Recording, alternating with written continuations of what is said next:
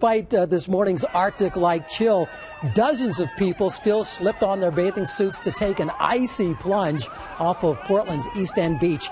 The state's biggest environmental group, the Natural Resources Council of Maine, organized this polar bear plunge as a way to raise money in an effort to raise awareness for global warming. This is the fifth year a couple of hundred brave souls turned out to take part in this bone chilling dip and survived to talk about it. Ah, it's freezing. It's awesome. It was so fun, so fun. So glad I did it.